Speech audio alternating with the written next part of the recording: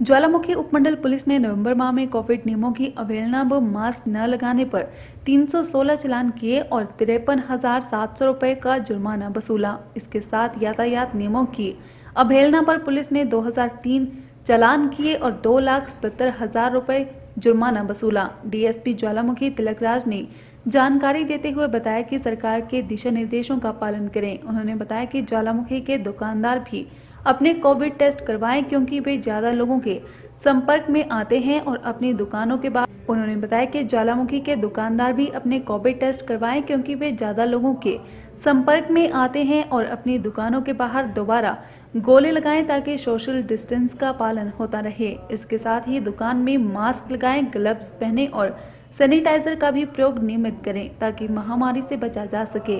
DSP Tilakraj ने बताया कि ज्वालामुखी उपमंडल में कोरोना के केस कम है, लेकिन ये लापरवाही से बढ़ सकते हैं, इसलिए एहतियात बरतते और नियमों के सख्ती से पालन करें। इसके साथ ही शादी ब्याह का सीज़न चल रहा है। ऐसे में सरकार के निर्देशों के अनुसार केवल 50 लोग ही दोनों पक्षों व केटरिंग स्टाफ के साथ शादी में शामिल हो सकते हैं। अगर शादी में नियमों की अवहेलना की जाती है तो शादी आयोजक के खिलाफ कार्रवाई की जाएगी, जिसके तहत पाँच हज़ार जुर्माना और आठ दिन की जेल भी हो सकती है। इसलिए सभी इलाका वासी इस संवेदनशील समय में एहतियात बरतें, घर में रहें और सुरक्षित रहें।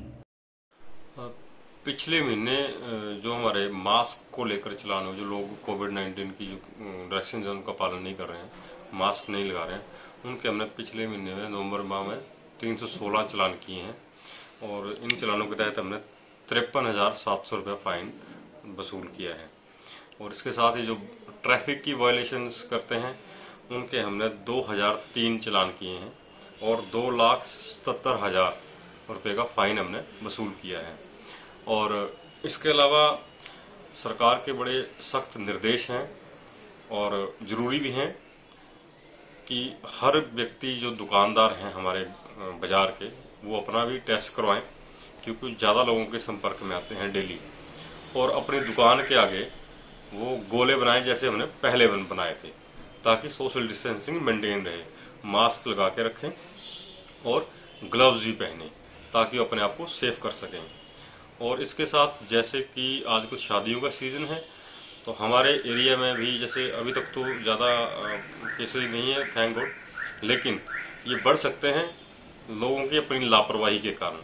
तो शादियों के सीज़न में जैसे सरकार की जो गवर्नमेंट ऑफ़ हिमाचल प्रदेश की जो डायरेक्शंस हैं, कोई भी शादी में 50 से ज़्यादा लोग नहीं होंगे। और वो भी इंक्लूडिंग कैटरिंग स्टाफ दोनों पक्षों को मिलाकर और कैटरिंग स्टाफ को मिलाकर 50 से ज़्यादा लोग नहीं होंगे। अगर इससे ज़्यादा लोग होंगे तो जो उसका ऑर्गेनाइजर है, जो शादी का, जिसके घर में शादी हो रही है, उसके खिलाफ कानूनी कार्रवाई की जाएगी। पाँच हज़ार तक का रुपए तक का चलान हो सकता है और उसको आठ दिन की जेल भी हो सकती है। तो मेरा सभी इलाका वासियों से अनुरोध है कि ये बड़ा संवेदनशील समय है। इसमें अपने आप को बचा के रखें, घर में रहें, सुरक्षित रहें और पूरी प्रिकॉशंस बरतें। धन्यवाद।